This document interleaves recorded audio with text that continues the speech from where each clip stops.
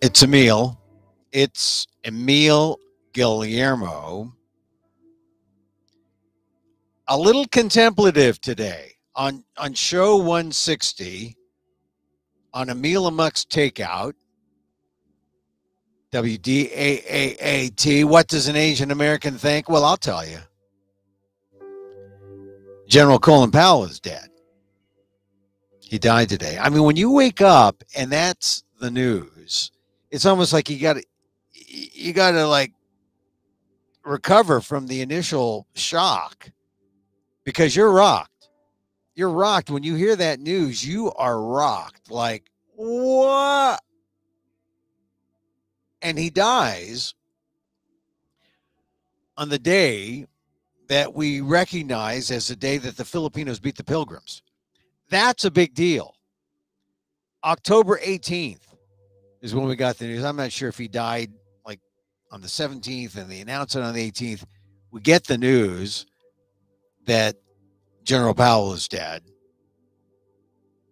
from complications of COVID. He had cancer, but he was 84 and he was susceptible to all the different things about COVID because he was in that that class of people. Oh yeah, sure he was a good guy, but he was a you know, he was compromised because of cancer. My myeloma. But he we get the word on today's date, October 18th, the day the Filipinos beat the Pilgrims. Don't forget that October 18th, 1587. You got to remember that. Just like people think, oh, Columbus, 1492. You know, 1587 Filipinos. All right. Now, this is where the, the key thing is. Did they discover America? No, they stepped foot on America. That counts for something. October 18th, 1587. I'll talk about that in a bit. But first, here on uh, this program, you know, I, I, like to talk about uh, on Emil Amok's Takeout, show one, show 160. We we fill the void. You know, no one's going to bother to ask you, well, what does an Asian American think? WDAAAT. You know, that, no, are they are they going to do man on the streets? The infamous man on the street interviews and say, well, what do you think about Colin Powell? No, they're probably not. So I'll tell you. I'll tell you what they think. I'll, I'll tell you how an Asian American should feel. Because, like I said, it, this is like a gut punch, a gut punch to uh, to all of us who saw him as the model, as the example. Here was a a black man born not to, you know, not not to elite circumstances, his parents were immigrants from from Jamaica. He grew up in the Bronx. He went to City College in New York. He was not a great student, but he excelled in ROTC. Now, who does that sound like? I know you know a bunch of people who say, "Hey, that sounds like my cousin. That sounds like that sounds like me." That's a, he he excelled in ROTC. So we're going to talk about Colin Powell what he means to all of us. This this is this is a moment where it makes a difference if you're a so-called BIPOC, a black, indigenous, a person of color. Because that that's what Colin Powell stood for. He stood for the BIPOC possibility, right? I mean, he was beyond BIPOC. He was beyond politics. He was beyond race. He just said, I can do it. You can do it. And he did it. So we're going to talk about Colin Powell a little bit today and then switch over and talk about this great day, October 18th, 1587. More than 400 years the Filipinos step foot on American soil. Yeah. Before the pilgrims got here, we beat the pilgrims. If this were a foot race, I mean, the pilgrims would be eating our lumpia. They they came in 1620, Plymouth Rock. The Filipinos were here in 1587. Do the math. We were first. You can win some bar bets there. I'll bet you a San Miguel. Forget the San Miguel. Go up, up, upper shelf. I'll bet you a one of those uh, fancy Filipino rums. Win that bar bet. Filipinos were first. Anyway, we're here at 2 p.m. Pacific Live, and we're just going to spill over into from our lagniappe, our little something extra, into the show because it's important. It's important to talk about Powell and his life and to, to think about how he's an example for all of us. To when you think the politics is divisive, he transcended politics for goodness sakes. And he was a figure that we could accept if you were considered liberal or progressive. You could trust him that he was doing the right thing, at least for the moment. Of course, there was that one major, what he called a blot in his history that we'll get into. But Colin Powell, the general, he was a special guy. And that's what we're going to talk about today, primarily. So be here, bang the gong. Now, Facebook at emilguillermo.media. We're also, you can catch the replay on amok.com. Thank you for being here. Uh, you know, when you, you begin, I, I just remember waking up around the six o'clock hour and I, I got the bulletin that Colin Powell had. I, I just couldn't believe it. Former U.S. Secretary of State Colin Powell, first. No black Secretary of States before that. First African American Secretary of State serving under President George Bush, George W. Bush, 2001 to 2005. Special. Now, look, I'm a modest first. I was first local TV reporter and uh, network affiliate in San Francisco, Filipino, not Asian, Filipino. First Asian American, though, and first Filipino to host a national news show at NPR. First Asian American male to host a national news show. First was Connie Chung of any gender when she hosted uh, the CBS Evening News. But when you're a first in your field, the first in, in the thing that you do, that's a big deal. But look at Colin Powell. He was first in the military, first in, you know, com, com you know, the he uh, was the commander of the U.S. Army Forces Command. I mean, he broke through what you would call the the most restrictive kind of I know what would you call it the, the most restrictive environment he broke through there were no glass ceilings for Colin Powell he just busted through the military then he was trusted there then it was politics and mind you I'm talking about a Reaganite I'm talking about a conservative African American. And yet, we have these feelings for him that are so different from, say, another African American conservative. You can list them off in your head. You know who they are. They were a cut below Colin Powell. And why was it? Because they were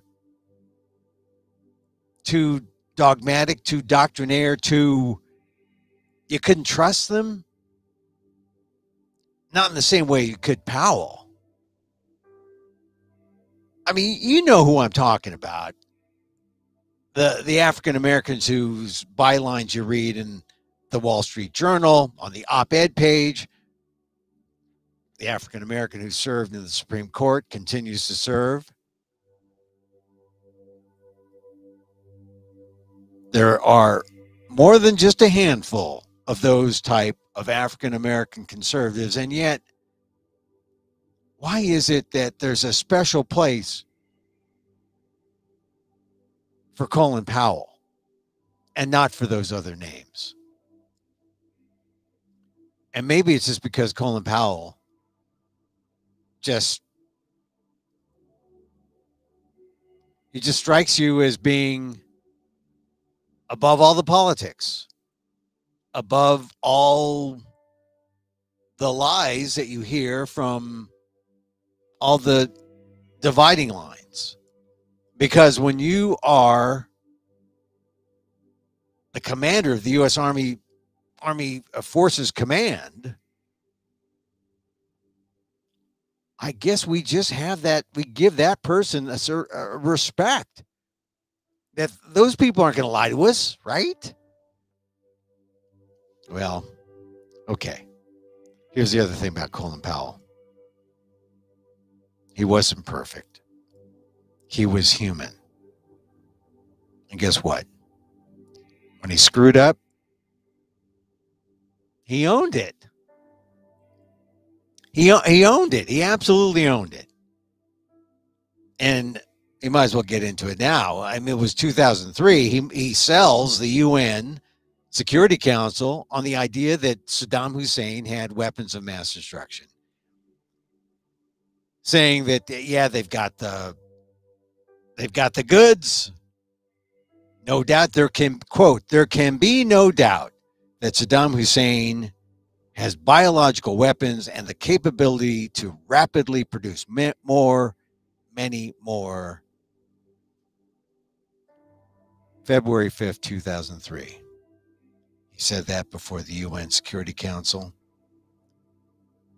And it was just false. It wasn't true. He said, We have the intelligence. Okay, so he, there was a, a little bit of tarnish there. A lot. But look how he handled it. He did not back down. He did not point fingers at other people. He didn't say, "Oh, I don't recall seeing that. I don't recall saying those things that that all the world saw you say." No, no, he he owned it. He was he was criticized by everyone because it was clear that he had misled the public and he expressed regret about that speech and he called it a blot on his record. He may have paid the price, but not among people who saw that, hey, Colin Powell, not perfect, is a human. He's one of us. And I think it added, not took away from his credibility. That was in 2003. Because what did he do subsequently? He stopped playing politics. He stopped taking the information he was fed as a Republican. He left the Republican Party in 2021. He tried to be somewhat more independent before, you'll recall that when it came down to who he would vote for president in 2008, he he endorsed Obama. There's also uh, some reports that, you know, well, he, it's clear some people wanted him to run for president in 95, 96. And this is before the 2003 thing. Maybe he should have run. What would it what would it have been like if Colin Powell he was just a guy who maybe it was the military, maybe it was man in uniform. Maybe it was just knowing that he could cross so many different bridges to bring our country together. Man in uniform, person of color, straight shooter. This is 95, 96. They were thinking about, hey, you should run Colin Powell. He didn't.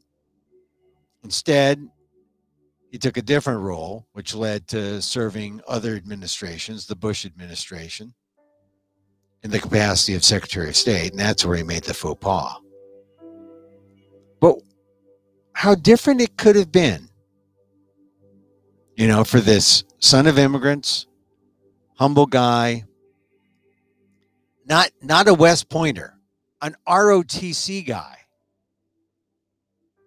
who then went on to a much heralded career in the military.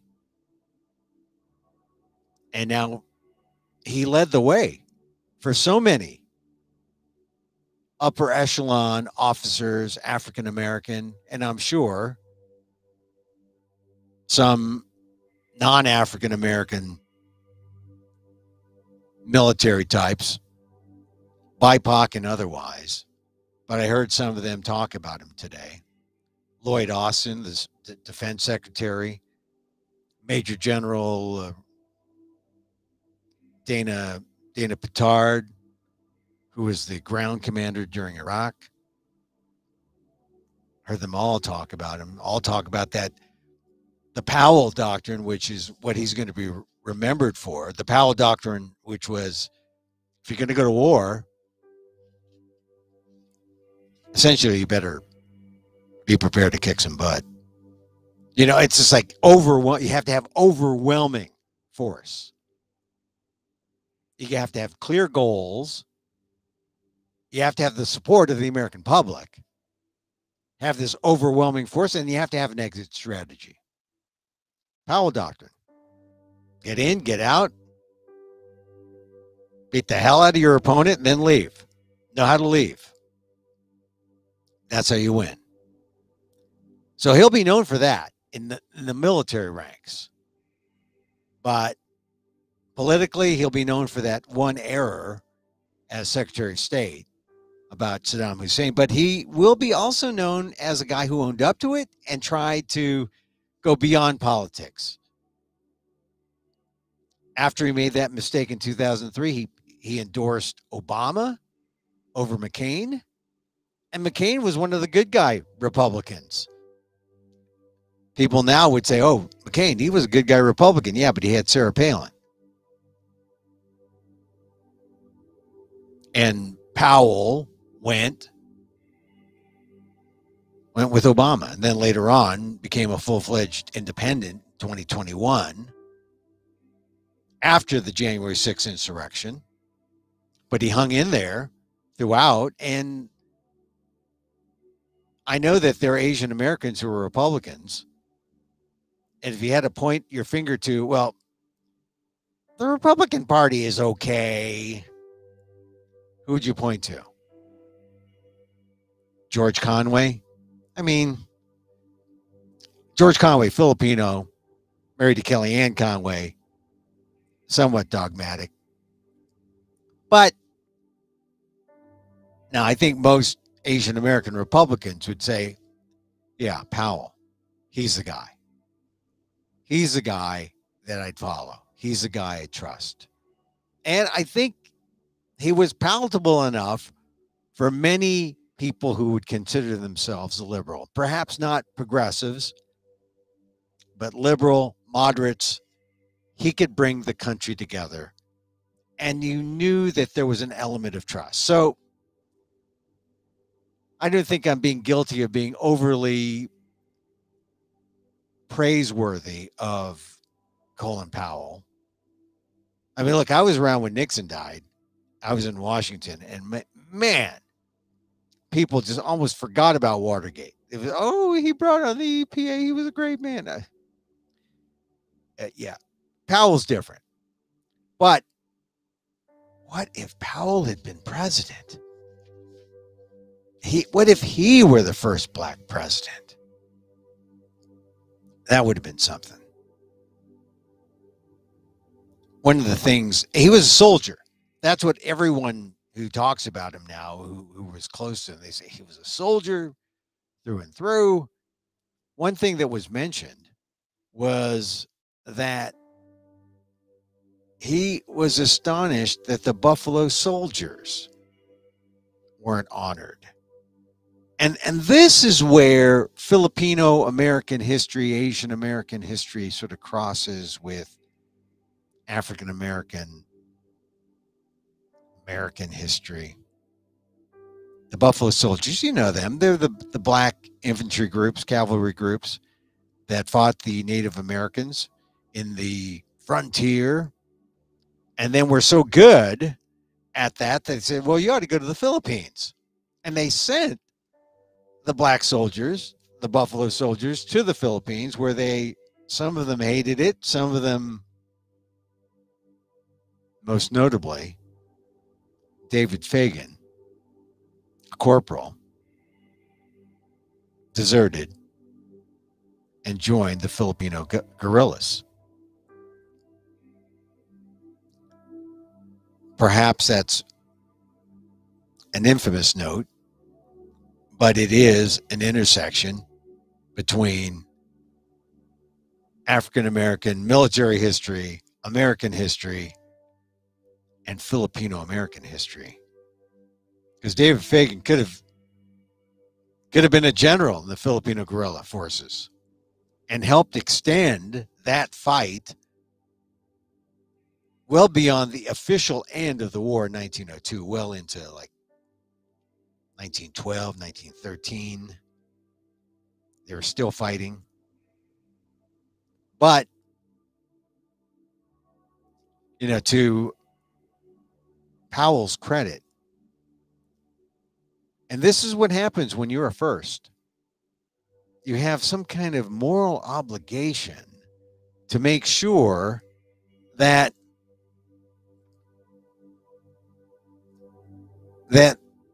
wrongs are righted, especially errors of omission. And I saw one colleague of his today say, well, he was really big on the Buffalo Soldiers. He said, you got to recognize those guys, the black soldiers. Colin Powell was a soldier. He was a soldier and a patriot who broke through all, broke through all the, all the barriers racial, political. He helped the U.S. win the Persian Gulf War. He was involved with Afghanistan and Iraq. We didn't win Iraq or didn't win Afghanistan, but he was such an important American. So I, I bring up the Buffalo Soldiers because it's what brings us to this special day, October 18th, Filipino American History Month. It's all our own. You know, no more sharing with Hispanic heritage. Sure, I got a Spanish last name. That's nearly four centuries of Spanish colonialism that I have to rinse through my my veins But this history, Filipino American, it goes back to October 18th, 1587. I mentioned this in all my columns that I put out today on the AALDEF site, the Asian American Legal Defense and Education Fund, also on inquirer.net, the Filipino site that goes to all the Filipinos in the, in the diaspora. On the AALDEF site, though, I I I I tell the story about how last night I I went to a Filipino store during the day and I saw some great looking bitter melon. And it was just a reminder of the metaphor how the bitter melon is a reminder of our little known history. But how on the 18th, it's the day the Filipinos beat the Pilgrims to America. You know bitter melon, right? That green gourd, it's furrowed and it it's bumpy and it just you know, it it looks interesting. They say like, what does this what does this taste? like? It's ampalaya, they call it in Tagalog. Bitter melon.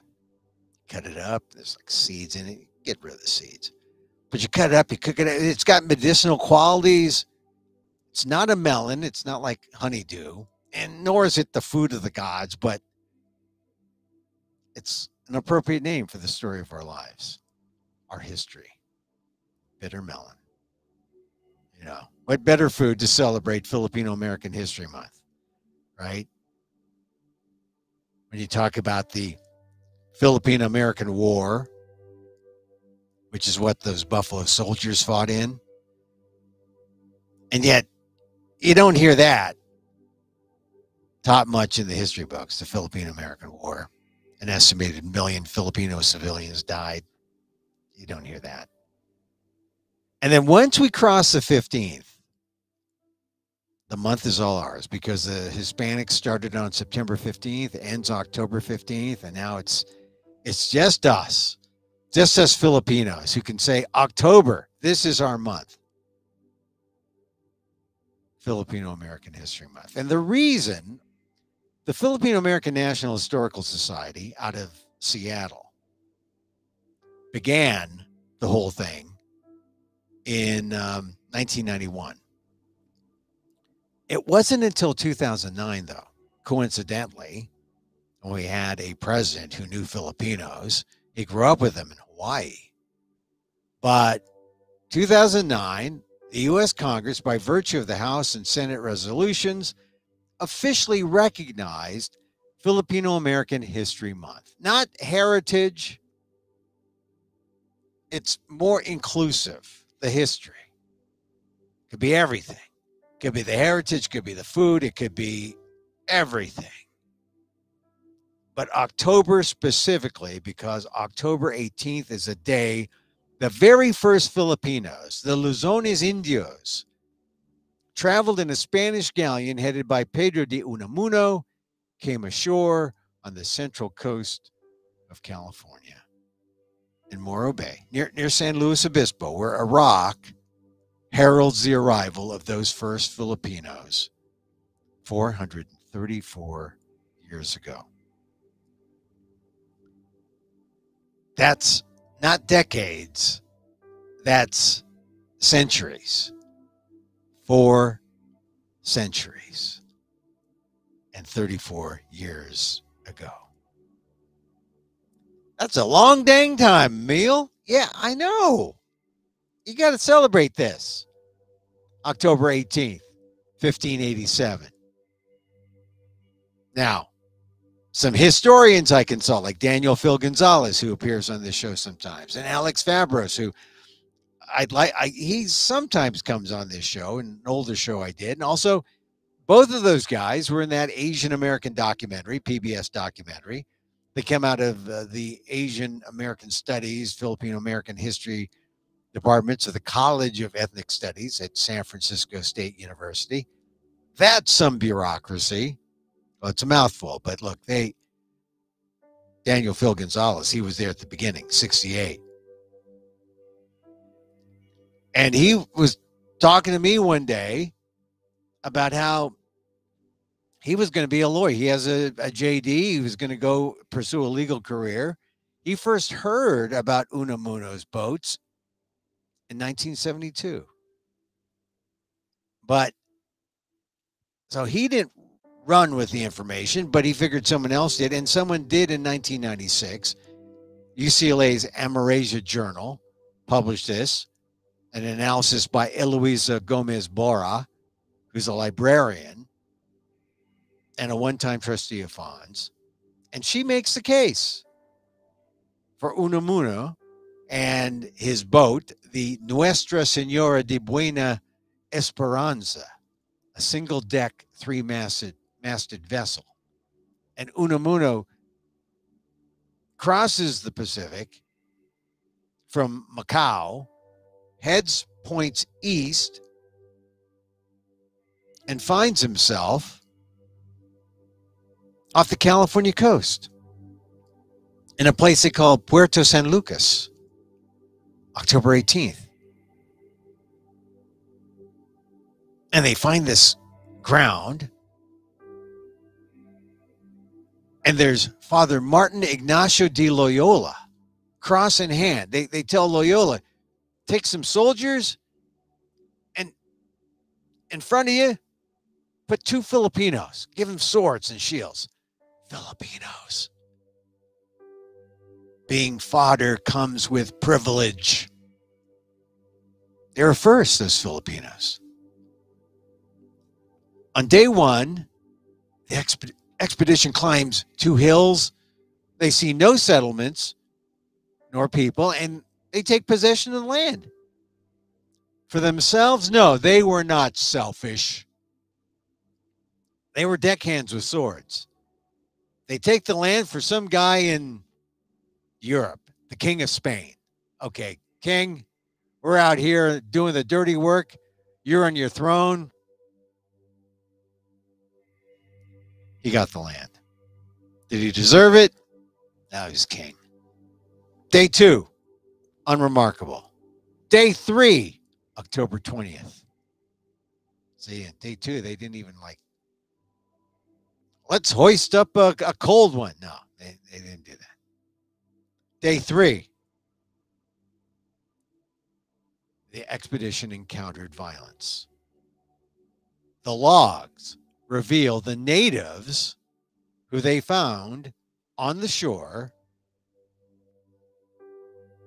probably the Chumash Indians, tried to kidnap the ship's barber. Of course, there are Filipino barbers everywhere. At which point, I'm not kidding, it was a barber. At which point, a violent exchange ensued. I'll put on my new Center 4 voice.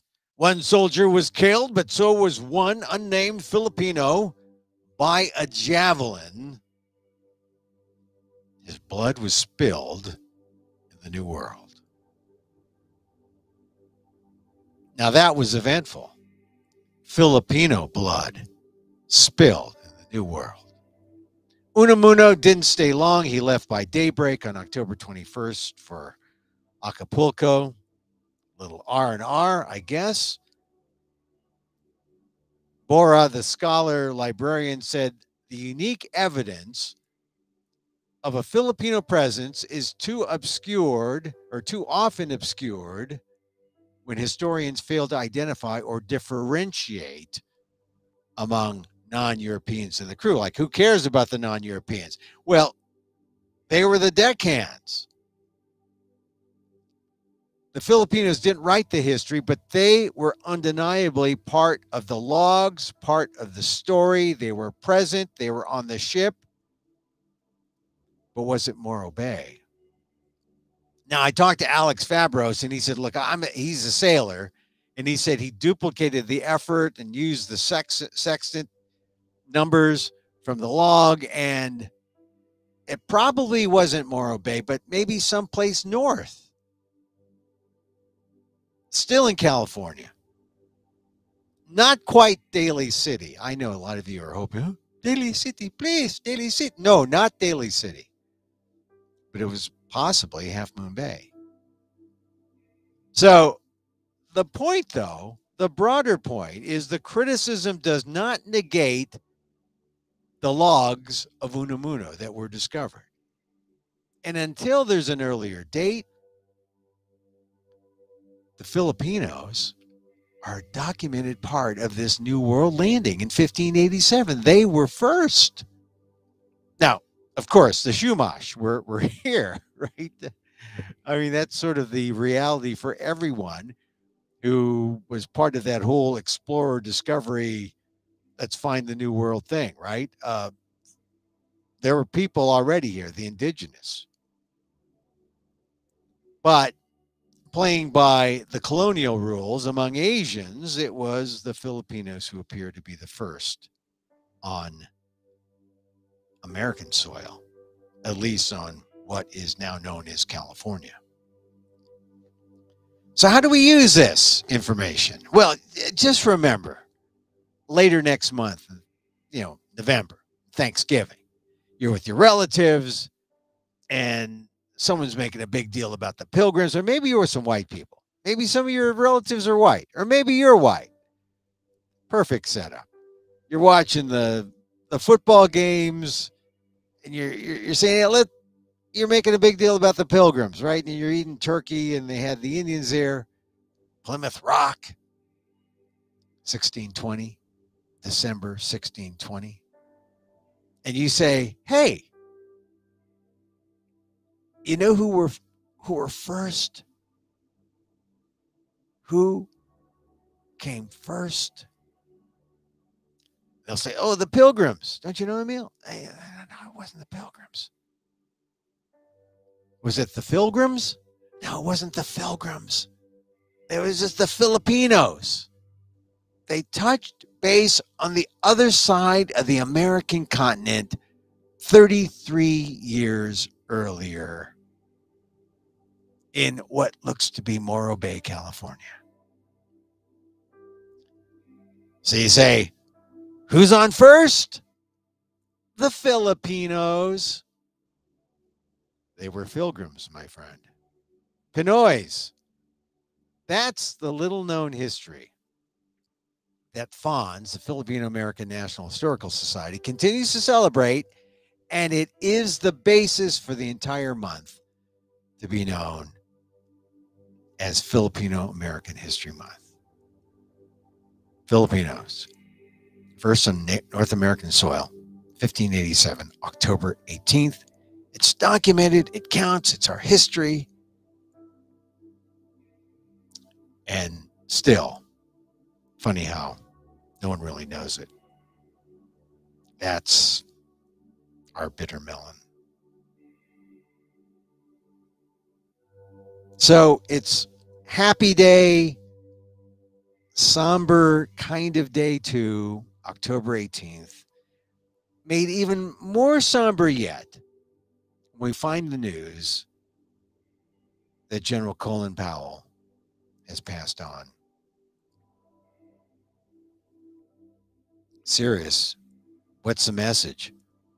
He died from complications of COVID 19 because he's he had myeloma, which is a cancer infection throughout the body, probably infected by someone who is non vaccinated. I just think that the message for, for all of us is get vaccinated. Get that. 84 is young. Colin Powell was doing good work with youth, doing good work at work with young people at City College of New York because he knew he broke through so many barriers, racial and political. A humble guy, a humble man who he didn't brag about it, but he talked about getting C's and D's in college, but excelling in his passion, ROTC. And with that, he went into the military. Now, a lot of people look at the military as a dead end. I know Filipinos in San Diego, Filipinos in the Navy, Asian Americans who consider the military, they don't consider it a dead end. I mean, if, if it's their passion, I know some ROTC guys from Lowell High, it was their passion. But you know, it's still hard because there's some people who will label us and put us down and to get by that whole thing that we struggle against man powell was an example a model for all of us. Bipocs black indigenous people of color we can get through we can we can endure we can succeed we can go beyond race, go beyond politics. That's that's what makes this day when I'm here to talk about October 18, 1587. Well, October 18th, 2021, a sad time too. Because the man who broke through just like those explorers, just like those Filipinos who came across new land, step foot here. Colin Powell, the general, has died. And we won't know if it could have been preventable. He got COVID. He didn't have to. Who was unvaccinated? Who was around him who was unvaccinated? But it should be a reminder to all of us to spread that message. Get vaccinated. Get vaccinated. I I know a handful of military folks. I have military people in my family. And some married to cousins, daughters. I admire them. Some people think it's a trap. Oh, military, it's a trap. You can't make any money. can't. Eh, what kind of life is that? Oh, you got to move around. You live a life of service. There's a reason why you do all the things you do in the military. I, I'm not a big fan necessarily for me, but using General Powell as an example you can see how a military life, you can do great things. You can break barriers. You can do anything you want. And for many of us in the BIPOC community, it is still a pathway. A pathway to a life worth living. So, our condolences to all the friends and relatives and family of General Powell. Like I said, I never met the man. Um, but, you know, I know Asian Americans who certainly knew him, worked with him, who were also or are great men. And I'd have to mention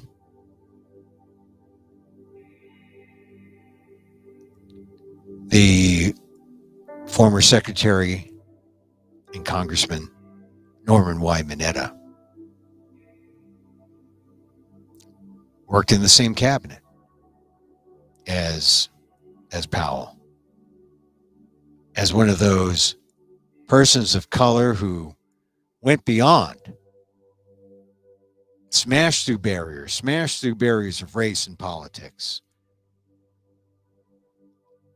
You know, we need people like that. We don't we don't have people like that.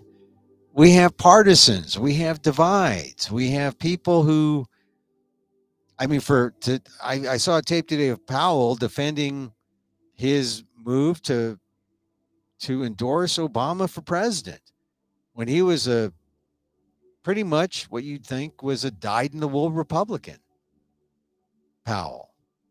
But no, he was just a dyed in the wool patriot, an American who wanted the best for this country. So, uh, a sad day. We need more people like Colin Powell. But he's a reminder that people like that can exist and thrive and do exist and aren't trying to divide and tear up this nation, but are really trying to bring it together.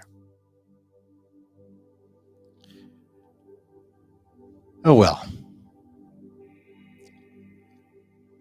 He died, Powell, on October 18th. Important day in Filipino American history. I won't forget him.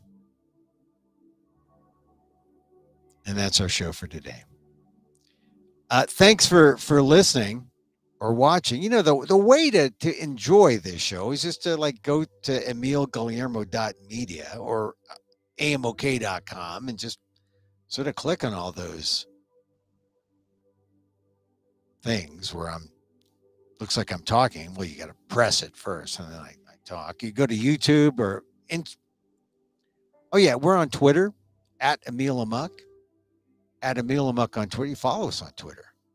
Go see the replays on amok.com. This is show 160, right? What does an Asian American think? Well, they just come here. I'll tell you what an Asian American thinks about Colin Powell.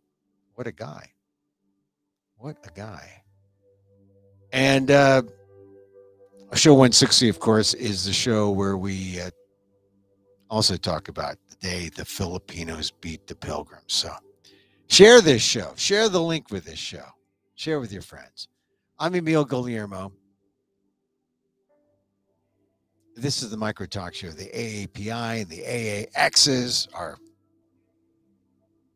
naming convention for Asian American ethnicity X, Filipino, Chinese AAC, AAF, or the ALLs, the alls. All's the rest of you. Right here. So uh thank you, really, thank you for for joining us. And you know the real lagniappe is the end here. Where I just look in the eye and I say, look, are you feeling bad? Are you feeling down? Don't feel bad. Give yourself a Tell yourself it's all right. We could be like Powell. We can belong. Just remember these words. May we be safe. May we be happy. May we be healthy. And may we live with ease. Emil Guillermo here. Till next time. Mahal. Kita.